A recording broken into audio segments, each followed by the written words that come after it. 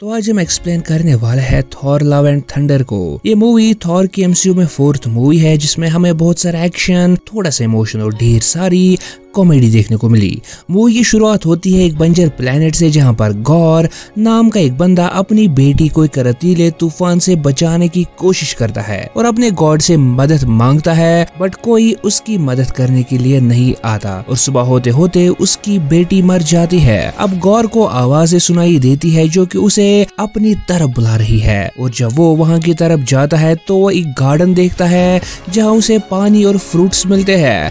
गौर जब ये फ्रूट्स खाने लगता है तो वो देखता है कि एक्चुअली उस देवता के है जिसकी वो पूजा करता था। वो बहुत खुश होता है और अपने गॉड से कहता है कि मैंने आपकी बहुत सेवा की है। अब मुझे अपना इटर्नल रिवॉर्ड चाहिए, जो कि उनके देवता ने उन्हें प्रॉमिस किया था, जिसपे वो देवता हंसने लगता है और कहता है कि तुम्हारे लिए कोई इटर्नल रिवॉर्ड नहीं है। हम यहाँ एक ऐसे बींग को मारने के लिए आए थे जिसके पास नेक्रोस्वॉर्ड थी। अब नेक्रोस्वॉर्ड एक ऐसा वेपन था जिसे कि गॉड्स को मारा जा सकता था, और वो गौर के सामने ही पड़ा होता है। और इस सीन में हम इस देवता के बगैर भी वहाँ कुछ दूसरे डिफरेंट शेप के गॉड्स को देखते हैं। ये सुन को गौर को गुस्सा आता है, और वो अपने देवता से कहता है कि तुम कोई गॉड नहीं हो जिसपे वो देवता उस पर अटैक करता है। पर गौर नेक्रोसोर्ड की हेल्प से उसे मार देता है, और कसम खाता है कि अब सारे देवता मरेंगे। अब नेक्रोसोर्ड गौर को एक विजन दिखाता है, जिसके बारे में हम आगे डिस्कस करेंगे। इसके बाद सीन शिफ्ट होता है गार्डियंस और थॉर और कॉक की तरफ़, जहाँ कॉर कुछ बच्चों को थॉर की स्टोरी सुनाता है और कहता है कि एंड गेम में डिप्रेशन के बाद थॉर ने लड़ाई करना छोड़ दिया था और खुद को ट्रेन करके वो खुद को अब वापस शेप में लाया है। और हम देखते हैं कि गार्डियंस किसी प्लेनेट पे लड़ रहे हैं, जहाँ के गॉड्स को किसी ने मार दिया है। वो थॉर से मदद मांगते हैं तो थॉर उनकी मदद करता है और सारे एनिमीज को अकेले हरा देता है। पर इस लड़ाई में उन एलियंस का सबसे बड़ा टेंपल टूट जाता है। उनकी मदद करने के लिए थॉर को दो गोड्स एज ए गिफ्ट दे दी जाती है। और जब गार्डियंस कॉर्ग और थॉर वहाँ से निकलने वाले होते हैं तो गार्डियंस के शिप पे बहुत सारी डिस्ट्रेस सिग्नल्स आती है कि डिफरेंट प्लैनेट्स पे कोई बंदा गॉड्स को मार रहा है। और एक सिग्नल में उन्हें लेडी सिब्बी दिखाई देती है, जो कि गौर से लड़ रही होती है। थॉर और गार्डियंस अब थॉर कॉर्ग और गार्डियन सेपरेट होते हैं, ताकि वो ज़्यादा प्लैनेट्स को कवर कर सके। और थॉर यहाँ से स्टॉम ब्रेकर से बाइफ्रॉस्ट खोल के लेडी सिफ की जगह टेलीपोर्ट होता है। अब सीन शिफ्ट होता है अर्थ की तरफ़, जहाँ में जेन फॉस्टर दिखाई जाती है, जिसे की फोर्थ स्टेज कैंसर है। और सिर्फ़ डार्सी और प्रोफेसर एरिक सेल्व को यह बात पता थी। अब जेन रिसर्च कर रही होती है बट उसके हाथ सिर्फ़ निराशा लगती है। और डार्सी उसे कहती है कि तुम क्यों नहीं मैजिक का यूज़ करती हो? खुद को ठीक करने के लिए वैसे भी तुम्हारा और एसगार्ड का कनेक्शन तो बहुत ही ज़्यादा पुराना है। जिसपे जेन उसे नकार देती है, वापस घर आके जेन की नज़र वाइकिंग्स की बुक पे पड़ती है, जहाँ उसे म्योलनर की पिक्चर दिखती है। और ऐसा लगता है कि जैसे म्योलनर उसे अपनी तरफ़ खींच रहा हो, अब हमें न्यू कार्ड दिखाया जाता है, जहाँ पर म्योलनर के पीसेस रखे हुए होते हैं, जब उसे हेला ने तोड़ा था। और कोई भी बींग इन पीसेस तक को उठा नहीं पा रहा था। इसलिए उस ज़मीन को ही उठा के एक म्यूज़ियम में रखा गया था म्योलनर के पीसेस के साथ। और इसके बाद सीन शिफ्ट होता है न्यूएस कार्ड की तरफ़, जहाँ दिखाया जाता है कि अब ये एक टूरिस्ट अट्रैक्शन बन गया है और टूरिस्ट से भरा हुआ होता है और यहाँ पर वॉलक्री अब किंग है और वो ऑफ़िस और पेपर वर्क का काम करते करते थक गई है। और जब जे एन और म्योलनर के नज़दीक आती है तो म्योलनर के पीसेस हिलने लगते हैं और जेन ट्रांसफॉर्म हो जाती है माइटी थॉर में। तभी सीन शिफ्ट होता है थॉर की तरफ़, जो कि लेडी सिप से मिलता है और उसे कहता है कि ये सब कौन कर रहा है? तो सिर्फ़ उसे कहती है कि ये सब गौर कर रहा है। और हम देखते हैं कि लेडी सिफ की एक आर्म मिसिंग है और वहाँ पे फैलागार हिम्मत नाम की गॉड की बॉडी भी पड़ी थी, जिसे कि गौर ने मार डाला था। और लेडी सिप से थॉर को पता लगता है कि गौर अब एस्कार्ड की तरफ़ जा रहा है, क्योंकि नेक्रोस्वॉर्ड उसे जो विजन्स दिखा रही थी, उसके अकॉर्डिंग इटर्निटी से मिलने के लिए गौर को स्टॉम ब्रेकर की ज़रूरत पड़ेगी।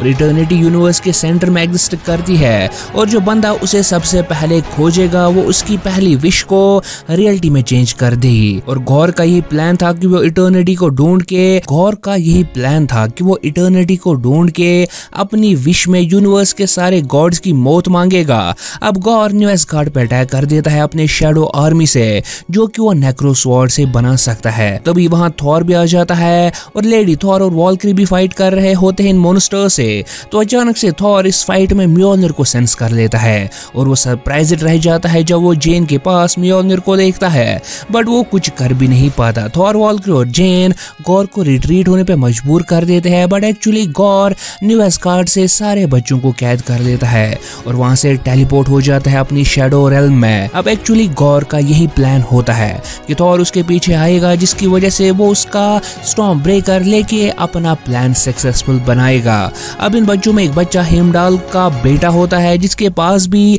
हेमडाल की ही पावर्स होती है। वो थॉर से कांटेक्ट करता है। थॉर उन्हें ढूंढ निकालता है कि गौर ने उन्हें एक प्लानट जिसे वो शेडो रेलम कहता है, पे रखा है। अब म्योलनर के वापस आने पे थॉर म्योलनर को यूज़ करना चाहता था, पर स्टॉम ब्रेकर ये देख के जल सोने लगता है, जिसकी वजह से स्टॉम ब्रेकर थॉर की कमांड्स को सही से फॉलो नहीं करता। अब हमें फ्लैश में जेन और थॉर की बैकग्राउंड स्टोरी दिखाई जाती है कि कैसे कि कैसे थॉर टू के बाद ये दोनों खुश थे बट थॉर के सुपर हीरो और जेन के एक साइंटिस्ट होने की वजह से इन दोनों में दूरियाँ बढ़ने लगी। और एक टाइम पे जेन थॉर को ब्रेकअप नोट लिखती है और दोनों सेपरेट हो जाते हैं। बट इससे पहले थॉर म्योलनिर से एक रात कहता है कि तुम हमेशा जेन का ख्याल रखोगी, जिसकी वजह से म्योलनिर पे एक इंचेंटमेंट पड़ जाता है कि जब जेन फॉस्टर खतरे में होगी, वो उसकी हेल्प करेगी। और यही हुआ भी, जेन मरने वाली थी, पर म्योलनिर ने उसे अपनी तरफ़ बुलाया ताकि वो उसे बचा पाए। और इस बीच वो माइटी थॉर भी बनी। अब थॉर सोचता है कि वो खुद अकेले जाके गौर से बच्चों को छुड़ा लाएगा बट स्टॉम ब्रेकर उसकी कमांड नहीं मानती और उसे पटक देती है। इसके बाद कॉर्क, जेन, थॉर और वॉल्क्री मीटिंग करते हैं और डिसाइड करते हैं कि वो ओमनीपोटेंट सिटी जाएँगे, जहाँ पे बहुत पावरफुल गॉड्स लाइक जूस और हरकुलिस रहते हैं और वहाँ वो गॉड्स को अपनी टीम में लेके गौर को हराने के लिए जाएँगे। और जूस थॉर का बचपन का हीरो होता है, इसीलिए वो बहुत ही ज़्यादा एक्साइटेड होता है जूस से मिलने के लिए। अब स्टॉम ब्रेकर तो थॉर की नहीं सुनने वाला था, इसलिए वो स्टॉम ब्रेकर को बोट में घुसा के उन दो गोट्स का यूज़ करते हैं। जो कि बाइफ्रॉस्ट से बने ब्रिज पे दौड़ के उन्हें ओमनीपोर्टेंट सिटी ले जाते हैं। ओमनीपोर्टेंट सिटी बहुत ही ज़्यादा खूबसूरत जगह होती है, जहाँ पे सब गॉड्स की मीटिंग हो रही होती है।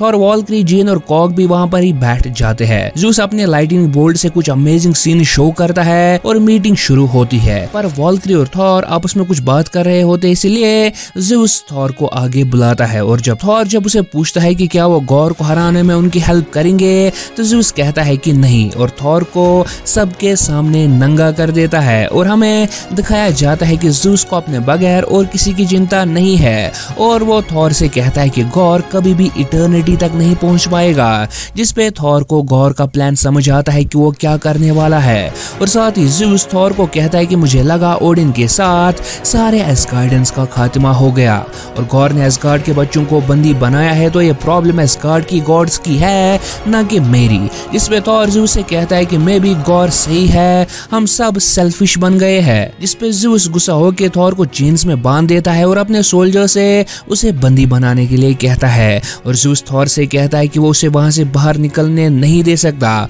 क्योंकि थॉर को ओमनीपोटेंसिटी का रास्ता मालूम है। और अगर वो गौर से फाइट करने गया तो गौर को ओमनीपोटेंसिटी के बारे में पता चलेगा, जो कि जूस होने नहीं देगा, जिसकी वजह से वो थॉर को बंदी बना लेता है। अब जेन वॉलकर और कॉक भी थॉर की हेल्प करने लगते हैं और जूस अपने वेपन से कॉर्क को इंजर्ड कर देता है, जिसकी वजह से सिर्फ़ उसका फेस बच पाता है और उसकी पूरी बॉडी डिसइंटीग्रेट हो जाती है और थॉर ये देख के गुस्सा हो जाता है। जूस जैसे थंडरबोल्ट थॉर पे मारता है।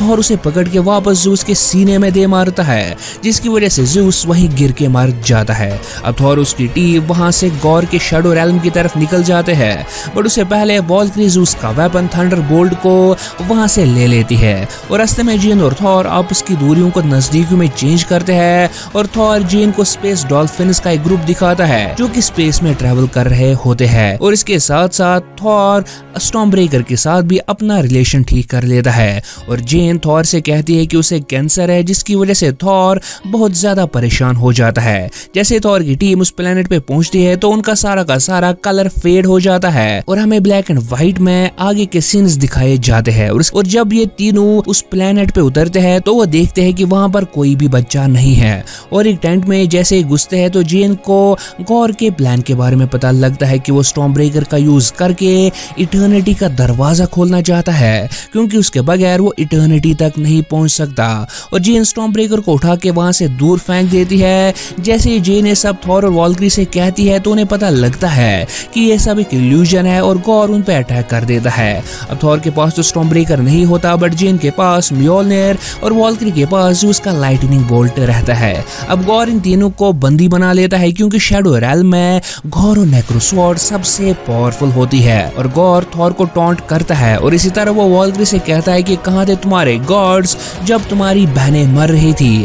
और जेन से कहता है कि तुम मर रही हो, क्या इन गॉड्स के पास तुम्हें ठीक करने के लिए कुछ नहीं है? क्या ये तुम्हें ठीक करना नहीं चाहते? जैसे तुम्हें हैमर ने पॉज दी, वैसे ही मुझे भी नेक्रोस्वॉर्ड ने पॉज दी है। हम दोनों सेम सेम है, क्योंकि हम दोनों इन वेपन्स का यूज़ तो कर रहे हैं, पर अंदर से हम दोनों ही मर रहे हैं, जिसे हमें पता चलता है कि नेक्रोस्वॉर्ड अपने यूज़ करने वाले को अंदर से खोखला कर देती है और उसे मार देती है, और गौर भी जल्दी ही मारने वाला होता है। इसके बाद गौर थॉर से कहता है कि अगर उसे जेन और वॉल्क्री ज़िंदा चाहिए तो उसे स्टॉम ब्रेकर को यहाँ बुलाना होगा, और थॉर ऐसा ही करता है, और गौर के कैद से छूट जाता है, पर गौर फिर से शेडो बर्सेकर्स की आर्मी बनाता है, जिनसे माइटी थॉर लड़ने लगती है और थॉर और वॉल्क्री गौर पे अटैक करते हैं। गौर थंडरबोल्ट का यूज़ करके वॉल्क्री को इंजर्ड कर देता है और जेन का कैंसर उस पे हावी होने लगता है, पर थॉर गौर पे भारी पड़ने लगता है और गौर वहाँ से गायब हो जाता है। और जैसे ही अब थॉर बाइफ्रॉस्ट खोल के इंजर्ड माइटी थॉर और वॉल्क्री को एसगार्ड ले जाने की तैयारी करता है,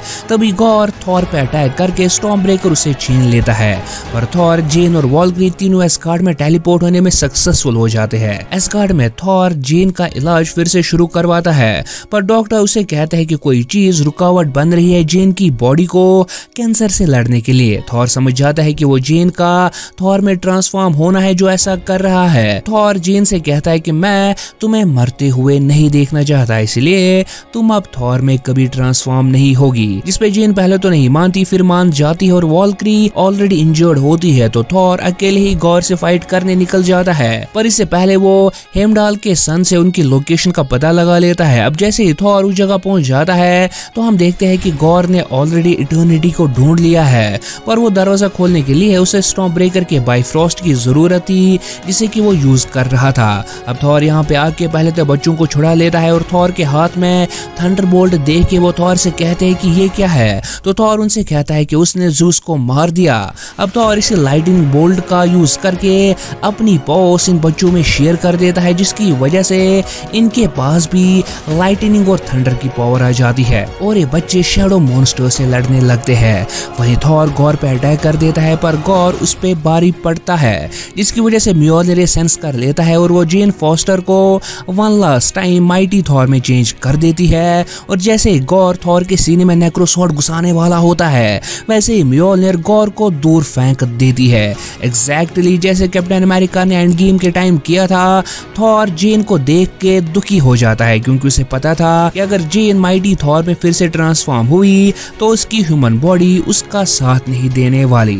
जेन थॉर से कहती है कि तुम स्टॉम ब्रेकर को छुड़ा लो, वो गौर को संभाल लेगी। और थॉर स्टॉम ब्रेकर को छुड़ा तो लेता है, पर इटर्निटी का दरवाज़ा खुल जाता है। थॉर स्टॉम ब्रेकर को एलेक्स यानी हेमडाल के बेटे की तरफ़ फेंकता है, और बाइफ्रॉस्ट से उन्हें न्यू एस्गार्ड में टेलीपोर्ट कर देता है। थॉर जेन से कहता है कि वो गौर को सिर्फ़ तब मार सकते हैं, जब वो नेक्रोसवर्ड को डिस्ट्रॉय कर पाएँगे। और फिर दोनों थॉर और माइटी थॉर मिलके गौर पे अटैक करते हैं और हम देखते हैं कि कैसे माइटी थॉर कमज़ोर हो रही होती है, पर वो म्योलनर और थॉर स्टॉम ब्रेकर और लाइटनिंग बोल्ट से एक साथ अटैक करके गौर की नेक्रोस्वर्ड के पीसेस कर देते हैं। पर नेक्रोस्वर्ड फिर से रिफॉर्म हो जाती है और गौर फिर से उठ खड़ा होता है। पर इस बार जेन म्योलनर से बहुत ही ज़्यादा पावरफुल अटैक करती है, जो कि नेक्रोस्वर्ड को पूरी तरह से डिसइंटीग्रेट कर देती है और उसे इवोपरेट कर देती है और गौर हार जाता है। और माइटी थॉर पावरलेस होके वहाँ पे ही गिर जाती है। थॉर गौर को मारने की जगह जेन की तरफ़ दौड़ता है और उसे अपनी गोद में बिठाता है। और इतने में ही गौर इटर्निटी के दरवाजे को पार करके खुद इटर्निटी तक पहुँच जाता है। और थॉर और जेन भी खुद को इटर्निटी के सामने पाते हैं।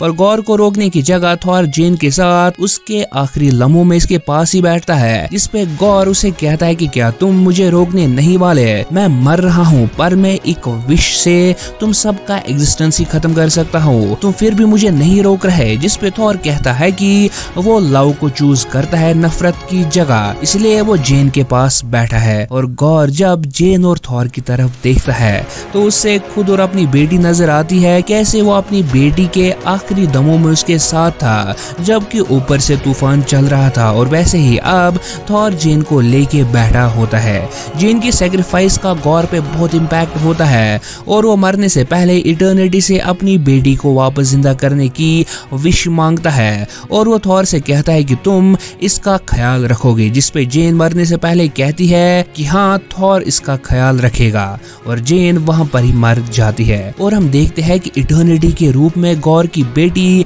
फिर से ज़िंदा होती है और गौर खुशी और गम की हालत में मर जाता है। मूवी की मेन स्टोरी खत्म होती है। बट इसके कुछ टाइम बाद हम देखते हैं कि न्यू गार्ड में जेन का एक बड़ा स्टैचू लगाया जाता है और चारों तरफ़ से माइटी थॉर के चर्चे होते हैं। थॉर गौर की बेटी को लड़ना सिखा रहा होता है और इस लड़की के पास भी पावर्स होती है, क्योंकि इसे इटर्निटी ने जन्मा था और दोनों उनकी मदद करते थे जो खुद की मदद नहीं कर पाते थे। थॉर म्योलनर का यूज़ करता है और वहीं गौर की बेटी स्टॉम ब्रेकर का।